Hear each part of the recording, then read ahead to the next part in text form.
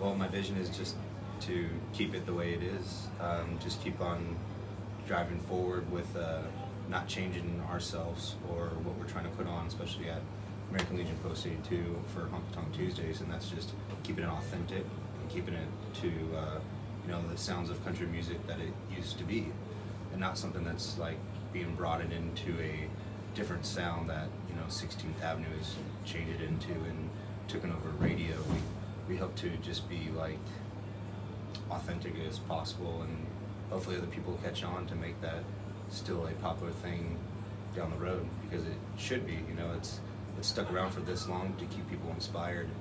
You know, like there's some truth to it and some like mass feelings with like that older country sound. You know, it's, it's the, you know the people's music, and that's just what we need to carry on through through life instead of it making it just be about a beach party, wearing puka shell necklaces and cowboy hats. Like there's you know there's so much more to it. You know? I believe with uh, keeping things simple is exactly the way it should be. You know, keeping things simple is leaves you a perfect guideline to keep your shows and keep your music. You know, you keep the the choruses and the ver- verses and sometimes a bridge. You know, as simple as can be, instead of uh, you know making it something where people can't understand it. And that's the thing with country music. I feel is like it's something that everyone understands. So it's it's something you know simple. There's not so much to it where you have to look into it. It's you hear one song and you immediately feel what he's singing. You know, you can't tell me there's one person who's heard Lovesick Blues for the first time and was like, oh damn, like actually feel that. Even if they're not into country music or not, you hear that for the first time. You know, that's that's just simple lyrics and um, you know it's it's just putting all the feelings just right there instead of having to explain some broad, huge thing. Keep it in the way where everyone helped out each other.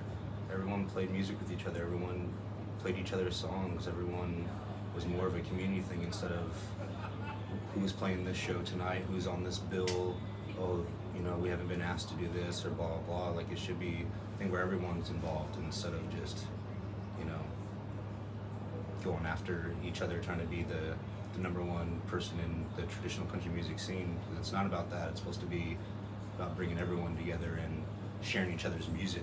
Because that's also how you're going to be able to popularize your own songs by, you know, having other people play them and and just knowing that you're being sincere with other folks.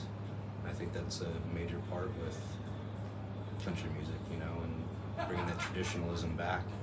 And you know, you look back at the days of uh, all the old Opry stars.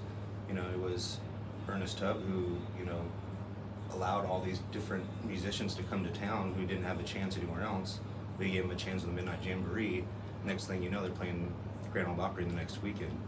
You know, that happened with so many folks with from Kitty Wells to the Wilburn Brothers to Loretta Lynn, you know, it's like it's folks like that, you know, that kept it going and I hope that we're doing the same thing by, you know, bringing the community together and bringing it to a more popular section now because there's more people involved instead of just one group or one person.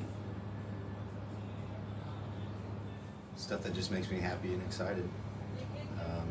Could be anything musically or anything visually.